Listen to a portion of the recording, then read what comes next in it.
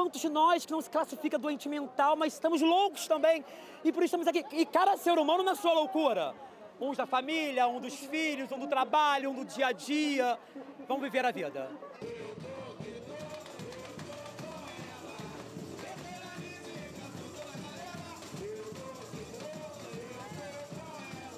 Fica que a gente é uma grande família, todos nós somos amigos aqui dentro, pelo menos para mim é assim.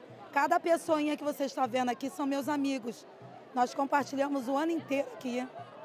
Não tem ruim, não tem bom. Esse é o nosso momento.